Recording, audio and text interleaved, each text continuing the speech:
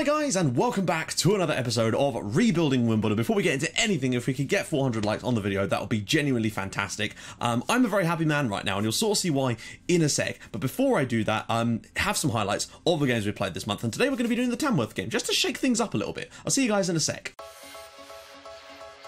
His ball in, burns across, burn with the goal, and it is 1 0 to Wimbledon. Wimbledon 1, Scunthorpe nil. What a perfect start to this game for us. Space puts it across the box, and it's put in the back of the net, and we just cannot stop conceding goals from that side of the pitch, no matter what I do so far. 1 1. Reeves with the free kick, ball across the back post. Ford is in there, and it is 2 1 to Wimbledon. Two goals from free kicks today, amazingly. We're making the most of these set pieces today. And find it, Rigg's through here. Rigg can score, and Rigg has done. That is a perfectly executed goal. Wimbledon 3, he's offside. No, he's not. Wimbledon 3, Scunthorpe 1. There we go, guys. Wimbledon 3, Scunthorpe United 1. The little tactical tweak really did work today. To the ball over the top to Lyle Taylor. He's got Loveridge in the middle. Can he find him? Taylor picks it up. Loveridge is in the back post, and it's Preston nil, Wimbledon one. James Loveridge, and amazingly, we are heading for yet another victory. This is incredible stuff. There we go, guys. Preston North End nil, Wimbledon one. Little tiny tweak, which I'll explain in a minute, won us that game. Whoops, over the top. This is a bit of space here for Bradford. Seager's through and Seager scores. Wimbledon nil, Bradford City 1. Ryan Seager with the goal. We need to be careful here. And doesn't dispatch the penalty, but he does on the rebound, and it is Wimbledon 1, Bradford 1, James Loveridge with another goal. This is important for us right now. Whips it all the way, Loveridge at the back post. He's scored. What an incredible goal and ball. Wimbledon 2, Bradford City 1. What a turnaround we've made, and it's all because of marking out Morris. Watch those runners. Mitchell's got away from his man, and Mitchell has scored. And that is Luis Kinsella's fault. He left his man, and it is 1 0 to Gillingham. And, well, disappointing start. Early cross goes back for Reeves with a bit of space now. Can he find a key pass again? Goes in for Shenton. That's nice football, actually. Shenton through for Loveridge. Loveridge is round the goalkeeper and he's scored. Wimbledon 1, Gillingham 1. James Loveridge has really stepped it up over the last few matches, and we are level again.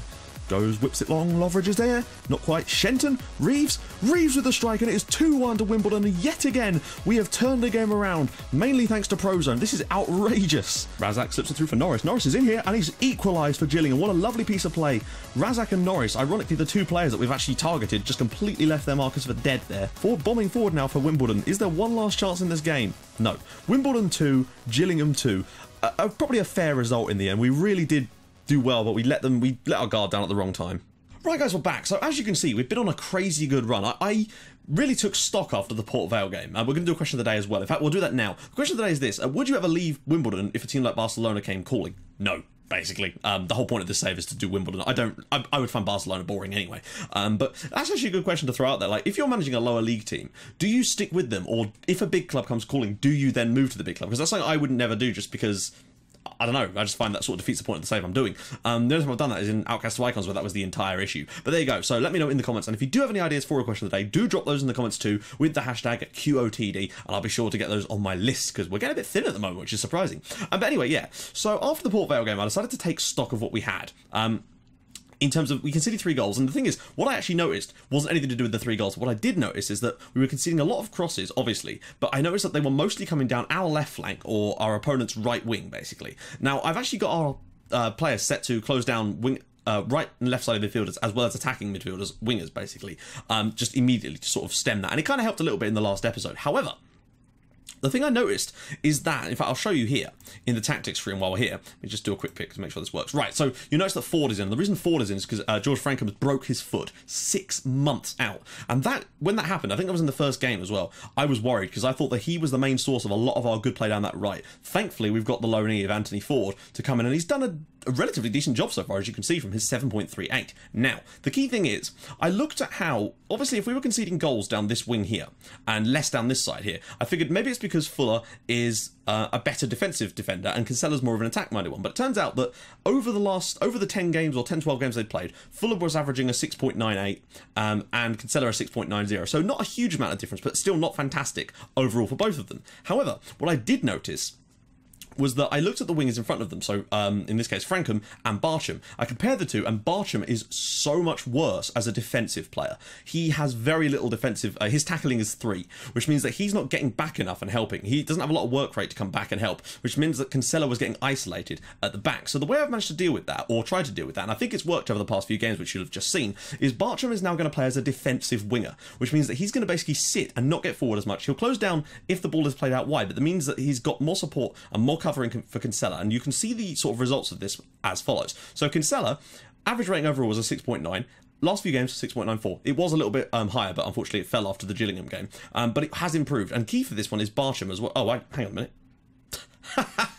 it was the other way around. Um, but he's had a couple of poor games as well. So we may have to look into that again. But the point is, we've actually, you know, gained 10 points this month from those matches. And that made a little difference. Now, may not work for your tactic. It all depends on what players you've got and stuff like that. So that's how it looks at the moment. This is how the league is shaping up at the moment. We're currently in second place, which is just unbelievable. Um, nine points behind Barnsley, who are running away with it, as you would imagine. But I'm just in shock as to how we've got so far up the league so quickly, frankly. Staying up is going to be no problem. I don't know. I almost don't want to go up this year just because I don't think we'd have enough quality to survive in the championship and the money wouldn't be there yet because our players haven't had a chance to develop so i'm a little bit worried about that but we're going to do our best anyway now there's a couple of things i want to talk about as well uh, let's see if i can find it tom elliott also has an achilles tendon problem which means that he's out for five months as well which is not good um, but yeah, so we've got some other games as well. Now, in the Preston game, we, who was it we shut down? There was one of their players that we completely shut out the game and then we won 1 0. Against Bradford City, again, the same thing. We came from behind because we shut down one of their players. And I think in the Bradford City game, it was. Who was it? Let's find out actually while we're here. Let's have a little bit of story time. It was Josh Morris. I even mentioned it in the highlights, I think. Josh Morris, he had a great game, but once we shut him down, he could do nothing. And he provided the assist for Ryan Seager's goal, but after that, he just, and we also missed a penalty in this game too. So we, we could have actually had this game put to bed, but the, the missed penalty. Oh no, sorry, we did. We scored the penalty, didn't we? You was just seen in the highlights. Um, so yeah, Gillingham was a bit disappointed to concede late on, but they played well and they, they really did stymie us for much of the game. A uh, quick look at the stats before we get moving on. Uh, goals, Loveridge Top scorer now with 11. Um, he's done well lately, though Taylor has missed a few and has only got has already got 10, so that's decent too. As for assists, Taylor doing well there. Man of the match, Francomb was doing great. Uh, unfortunately, he's now had to go. Um, Barry Fuller's doing brilliantly in that sense. Average rating, of course, Jake Reeves because of the amount of key passes he makes. Um, him and Loveridge are just monsters with that type of thing. Last five games, though, player of the month is Jake Reeves again with an 8 over our last five matches. Right, let's get into the game. Right, so, I decided to skip that stuff because I was banging on a little bit too much. But since this is a bit more of a relaxed game, I decided to play a full strength team just to sort of um, show you kind of the nths of what we're kind of doing at the moment. Um, Although I maybe should have put in a, I might put Tony Harris on at half time, give him a little run out of it, because I really do want to get him competent in that midfield role so we can play him there. The problem is, I still think we may have to let him go in January and put a huge uh, percentage of next next sale uh, clause in him, basically, because teams like Southampton and Swansea are, are scouting him at the moment. Uh, Villas-Boas came to watch one of our games to go see him, so clearly this lad has got something about him, and I really don't want to lose him. But if we haven't got a choice, we may as well cash in in January just to make sure we get that. Taylor's gone through here, and it's a poor effort. But yeah, uh, someone asked me in the comments a little while ago, or a couple of episodes ago by now, um, how we sort of develop these young players because they were always sort of struggling to actually get the best out of them. I'm not particularly great at that, surprisingly. Um, not surprisingly, uh, pretty obviously. Uh, right, what are we doing so far? Reeves with the ball in, cleared away. Taylor brings it down. He's got a man in uh, acres of space here, and that man is Bartram. Oh, he's at the bar. Reeves, oh, okay, we're battering them so far in terms of um, shots, but we're not actually scoring a goal yet, and that's a bit of a worry. We can have a look at that in a sec. But yeah, so basically, things I find important with that isn't just game time, because game time, of course, is, so loan spells are important, but also things like having an experienced player, player, player in their position to tutor them, basically, and give them that little extra experience. Ford is in, and Ford is probably offside. No, he's not. Okay, it's 1 0 to Wimbledon, and that's a good start for us, basically. It's taken us a little while, but again, Jake Reeves, three more key passes. He is just a machine him and Shenton really do hold that midfield perfectly for us. And I think without those two, we if we didn't get Jake Reeves on a new contract last year, we'd be in all kinds of shit right now because he is so important for this team. He's probably our best player, frankly. And he and Shenton, who I would love to try and get on a permanent deal, frankly, because it depends on how much he goes for. If he runs down his contract at Stoke, we might be able to get him on a free or something. Or if we notice that his contract's running down at Stoke, we could maybe get him for cheap in the last year because you know that's how it works. Um, I'm probably won't even take a look at the Prozone stats for this one at half time anyway, because we're winning 1 0. They've offered nothing, but we do need to tell them to guard against complacency. I know they probably won't like it, but there you go. But yeah, so training obviously make sure they're training in focuses that actually fit the tactical role because sometimes if you let your assistants do it they'll do all kinds of weird stuff that just doesn't apply um not really doing anything in this game frankly tamworth they haven't made any key passes uh, three interestingly uh, no one sort of standing out as being important but look at that we've had 14 already um, we could do with a bit more but I am going to rest a few players in this second half. So the first thing we're going to do is get off. Um, who is it? Yeah, we're going to get Jake Reeves off, and we're going to get on Tony Harris, and I'm also going to get on potentially Michael Brown. Oh, actually, no, that's not such a wise idea, is it? Where else can he play? Uh, he can play here. Uh, he's not great there, but I'll tell you what. Um, we're going to get Michael Brown on as well for Shenton. Just try and freshen up the midfield and get something a little bit different. I know they can't both play there, but the point is they actually can. So there we go. Uh, ooh, wrong button.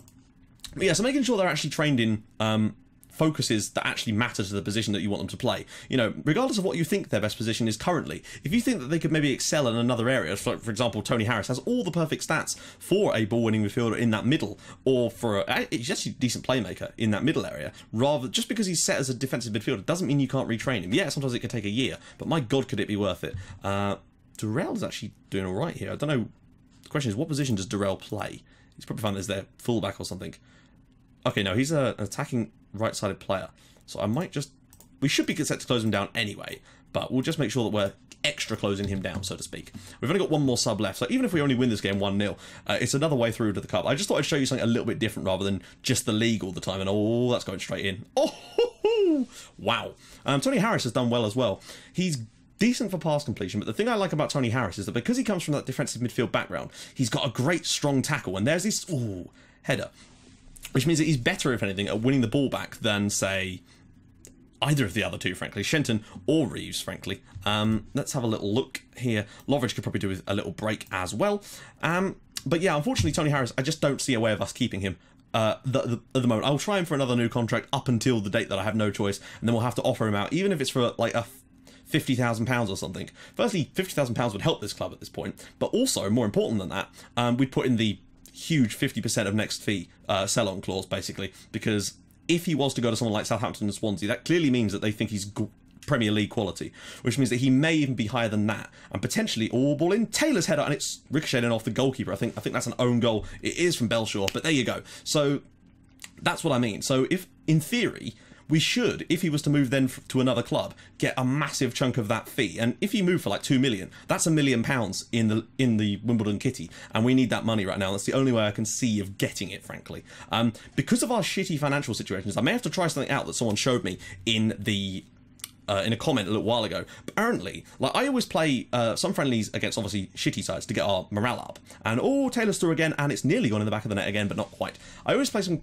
friendlies against crap sides to get our morale up. But I also play some ones against big sides, away from home generally, to get big match fees. Now, apparently, if you set up friendly leagues in preseason, you can generally get them on TV if you get big uh, teams to be involved in them. So I'm thinking next summer, due to our shitty financial situation, we may have to try something out like that and see if we can rake in a bit of money. Um, there we go, Wimbledon 2, Tamworth nil. It's nothing fantastic. It's a silly, simple, solid performance. Um, no, I'm still going to be passionate about them, tell them that they did well, and I'm pleased with the way they played because they did do well. Ford was superb. He's the only one that really stood out as a good player for us. So let's just have a little look at him. Three key passes as well from the right hand side, very solid. Um, but yeah, one thing I did do as well against Gillingham was that I noticed that we were getting like 70, 73% of the ball at some point. So I actually put the tempo up. Now, I've seen people saying that that's gonna that our low tempo holds us back. I really don't think that's the case. The lower down English football, or the lower down the football ladder you are, the lower the tempo should be, really, in terms of your actual play. People seem to think that it's quicker at lower levels. It is not. Like when you look at the Premier League and then compare that to the conference, the Premier League is an insane amount quicker than the conference, basically. It may look quicker, but it is definitely quicker. So I just feel that that's important that we don't get into this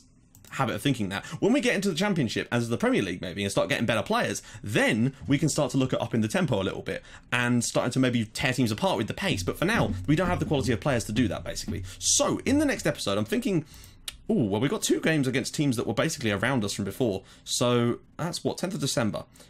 Gives us plenty of time. So I think Dagenham and Redbridge would be a fun one. Uh, they're down at the bottom which means we'll probably win the game. But then again, we've actually we beat them home and away last year, I think. So there you go. If you guys have enjoyed this episode, please do drop a like on the video. That would be unbelievable. And uh, if you haven't already, please do subscribe to the channel. That would mean the world to me. And I'll join you guys in the next episode for a game against Dagenham and Redbridge, and hopefully we can continue this form. But part of me almost doesn't want to. I know that sounds ridiculous, but I would almost like us to just lose a couple of crappy games if FM could do that for us and just sort of keep us so that we can, I don't know. I mean, it would be nice to go up, of course, but back-to-back -back promotions is very much not in the uh, plan I had. I, in fact, at this point, we were supposed to be sort of challenging for promotion in the previous league. So uh, I don't want to overdo it too quickly because then we could end up in all kinds of trouble and I might get sacked if we've not got a big enough squad because of the money. So there you go, guys. I will join you in the next episode for a game against Dagenham and Redbridge. And uh, yeah, see you guys soon. Thank you so much for watching. Bye bye.